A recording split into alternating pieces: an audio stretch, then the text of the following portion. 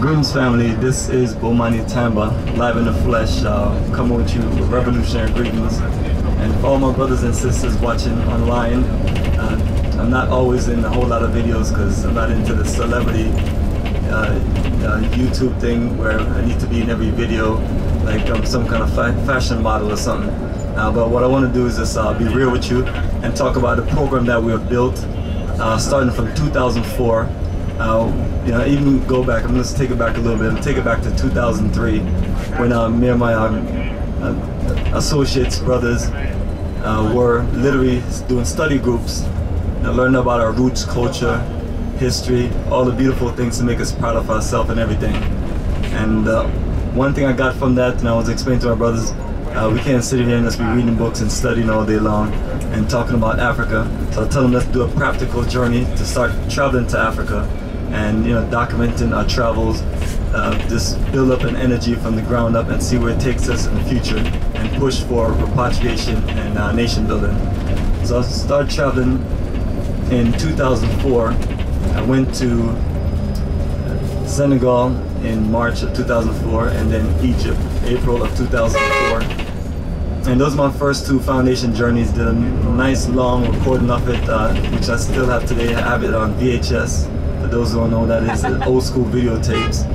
And I converted it to DVD, but it's something that, you know, these are early, early travel, so YouTube and things like that weren't around, so never, you know, never um, uploaded those things, but those are the things I have in my office to share, and, you know, especially just to show people where we came from and how technology have grown where, uh, you know, where the footage wasn't as good, now we have like 4K HD. So that was the first two countries, and 2005, went back to Senegal, but also went to South Africa and Kenya. Uh, so that's uh, country uh, number three and four. And in 2006, country number five I went to was the Gambia. And then uh, December 2006 went to Ghana, and that's uh, laid the foundation.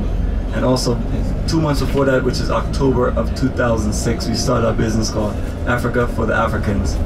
And this um, put the money in the bank and just uh, just basically hit the ground from there running and use the 2006 journey which is eight of us as a foundation journey and then came back used all the videos pictures and everything and marketed ourselves to a high level. And in October of 2007 uh, we had our second biggest group which was 42 of us. So we went from 8 to 42 and that's the momentum that we connected with uh, there in Ghana. It was like uh, country number six. So sometimes it takes you to make your way around Africa before you find somewhere that's home. But everything connected will just remind me of my roots and culture in Jamaica. I was born in Jamaica, grew up there, lived there for 11 years, and from there grew up in New York City until 18. And so that was like 18 years around being around, you know, your your roots and culture as far as your connection to um, uh, to Jamaica, and, and then to just be an adult and then be connected to Ghana, and comparing it to all these other countries and finding a way where you can do a, a real cultural program to get us connected. Uh, so the program that you have experienced here in 2020 was based off that program. And one thing that we always had in common in, in every single tour, um, and it's the only one thing that's in common, which is which is One Africa. I've known him from the inception of 2006, and we've never stopped doing business until we never stopped doing business, still to this day. Uh, so that's uh, long energy, and so the greetings and the welcome that I received there is because of our dedication of just being about us, not necessarily just being on YouTube and talking and you know showing off and you know things like that. I'm the people not into all of that. All those, those things don't matter to me. I'm not trying to get 500 million subscribers or anything like that and billions of views and things like that. that no, what I'm looking to do is touch the hearts of the real hardcore black power people that realize that every day we get up, we dedicate ourselves to our, our people, our children, our ancestors, our, our future, and you literally just work together and figure it out and do it right. Uh, don't believe in, you know, and everyone is, you know, could believe what they want to believe in, in this YouTube world. I, you know, and, and I will say I'm not against certain things, but what we do is just stick to what we're about, you know, which is us. So, um, um, no, don't want to even get into those things, but everything we're about, and anyone that want to deal with us, you, we want people to know that we're about us and our business. Um, you know, so we're not trying to beef or fight with any other race or, uh, or cultural people and things like that. As a matter of fact, I don't really care what other people think. it's just about us, and it has to be about us if we're to make a difference in everything. And, and just like I'm not looking forward to going back to America, but you know it's what it is. It's another day of business. But my you know, my confusion of things and why we do this program so hard is because we have so much great potential, especially in Black America, and that potential is not put out to where we can connect to Africa. So this program is to really connect us from the diaspora to the continent. And while you're on this program, um, as I last talked about 2007 and speeded up to 2020, we have all of these business and investment conference every year from there on. And we bring a lot of people around for networking for the purpose of us coming together and pull our resources together. And this has been the best connection that we've worked out from having a citizenship conference to the repatriation investment conference to the land tour and the connection with our chief to get access to land so we can build our community. So all of those things take you know, time to build and work out. But once you find a country that you want to do this in, you just build those relationships. And Ghana has been worked out perfect. But since Ghana, I've also traveled to a few other countries just to make sure that I'm not caught into a world of just, you know, it's just Ghana. But I've literally compared it to the next set of countries we went to was Togo, Benin, Ethiopia, and Tanzania, which made country number 10 and the closest uh, second is Tanzania based on just Zanzibar Island, the national parks, and just a big, big beautiful uh, country where people are, you know, building the country up, working the roads out in the fields, the farms, and things like that. Uh, so that's the Africa that I've seen and envisioned from studying books from some of our greatest minds, like uh, you know, Amos Wilson, uh, which is you know favorite psychology. He put things in perspective. Um, you know, I feel the right way, and his book the blueprint for Black Power will always be you know, Black Power Revolutionary Bible. Because uh, all it talks about is black economics and things like that. And when we realize that the people who are oppressing us, they use our economics against us.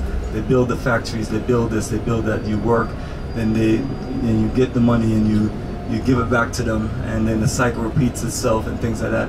Uh, so when we're connecting people together, the higher power of energy we're connecting is for us to build black enterprises all the factories, everything that we need, um, it needs to be done by us. Uh, and if we don't do it, the Chinese and the Indians uh, are been in the gates because uh, the British Empire um, and other um, nations brought them here in countries like South Africa, all over uh, East Africa, and uh, you know, as indentured servants. And now they are, you know, they feel like they, they you know, they, they love Africa and they feel like, well, it's their chance to take over and everything like that. So I'm always uh, telling my brothers and sisters in the African diaspora, it is up to us to, to part and connect with our own brothers and sisters and for also the African nationals who have moved to different parts of America, Europe. Um, it's also yeah, your position, your job also to come back and connect to the continent and for us to put these programs together to, to do these things that we need to do so our children have a bright future where we can just, you know, as a matter of fact, all you see when you're driving around countries like Ghana and any other country I've been to is you see you see bricks, you see sand, people are literally building up. So within the next 10 years, you know, the African continent will be the future. We have the youngest population in the entire world, which is a great thing. And, um, and you know, we have a chance to share all of our great experience in African diaspora and also in African continent with our children and put things in place.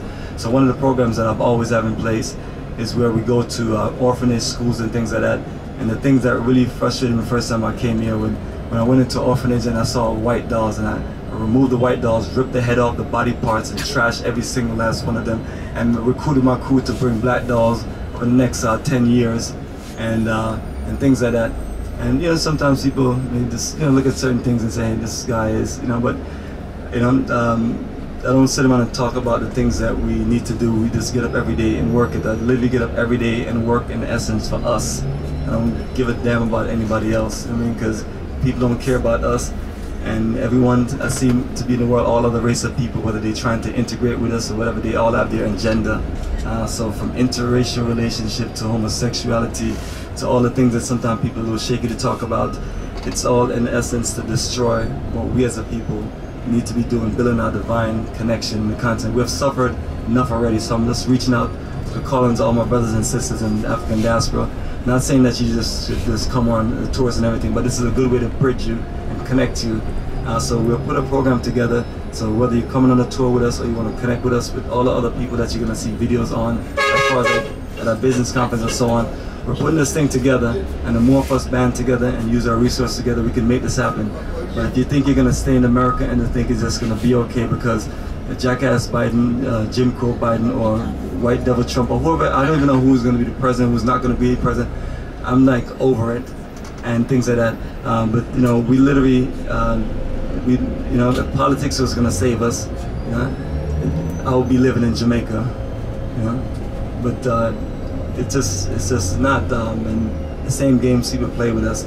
So I'm here to, to, share our practical experience of what we have done as a small unit and me and a few small groups of brothers and sisters have worked together with so many other groups of people.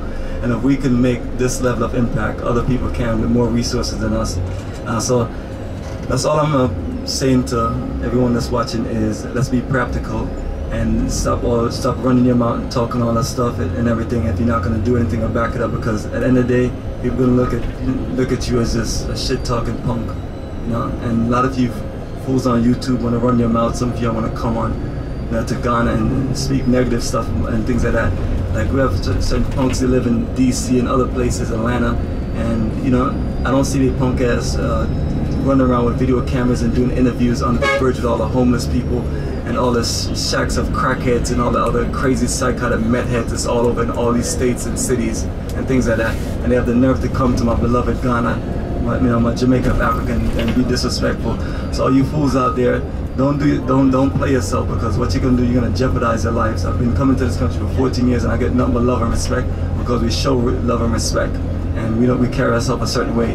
Uh, and you know, so for those who are trying to divide the energy, just, uh, just find find a better hobby um, because you, are gonna you're gonna be out in public and people are gonna you know people are gonna say hey that's the person we saw on YouTube disrespecting our country when you know when they come from you know somewhere that they don't have they don't have the rights that they think they are. So it's you know it's a serious thing I've seen you know when I wasn't able since I left from Ghana and other people just started just getting up and going to you know different countries and everything and embarrassing themselves whether it's the Gambia Ghana or you know whichever country you know so I'm telling you, family, for those people you see how they're doing it, don't support them, you know. And you know, I know sometimes we sit around like the entertainment and the, the gossip and drama and things like that. Not with all of that, you know. You know, we need to build. We need to be serious about our revolution, serious about what we're doing. And people that's uh, in our way, we need to stop supporting them. People that are race traitors uh, or black devils, you know, the, the people who are um, up front most enemy because they're just, you know, they can just hide off and blend in and that's what I'm always telling people, any groups and things that we have, and when we find these people, we remove them. If you come on our community and uh, you're pedo or you're whatever, all these other things, we're gonna remove you. And so everything that we have is, you know, we ask people to read through things and be clear because we have to operate in a level of order and structure. You know, I was a, I was an aircraft technician in the Navy for four and a half years and just very impressed by the training, very impressed by the logistic operation. And I was like, yo, if these groups of white devils can do this, you know, what's wrong with us? Why can't we put our resources together? And with, with all the challenges and everything that we have against us, the most important thing is what we have is us. And long as we decide to deal with us and focus on us, we're good. Um, and I don't expect all of us in the whole population to be like that. And you know, based on the fact that we've been consistent, con consistently divided for, generations and centuries and so on. You know, but definitely have to just let our folks know that um, you know you see what we're doing. We're serious about our business. Come join the forces, connect together, put our energy together. And for those who just don't mean good, stay out of our way. Either you stay out of our way or get run over, and that's that simple. You know? And, you know? So much respect to all my real Black Power folks out there that's get up every day and do the work and not up there trying to be YouTube celebrities and things like that. And let's keep it a strong family, and we're gonna keep on doing what we're doing. And uh, we're going to build a nice bridge to where when you're ready to live, do business in Africa, you have a perfected system. But right now what we're doing is the framework and the people that we're working with is who we have access to work with. And I know some people are waiting to see what we're going to do with this community and how we're going to go, but it's fine. Uh, not everybody's going to be you know, jumping on the pioneer move. But one thing I got to tell everyone that's listening right now, the cost of land in Africa over 15 years ago was in the hundreds, now it's in the thousands. So you're going to be paying tens of thousands of dollars for plots uh, in the next uh, few years because uh, Africa is growing. Uh, so, and then family, you can always connect with us on our website, Africa for the Africans.org. It has all of our tours and investment information accessible uh, via email uh, and also um, you know, text on our WhatsApp line and things like that. And other than that, family, um, keep it real and keep it strong, and we'll be available to connect with you when you're ready.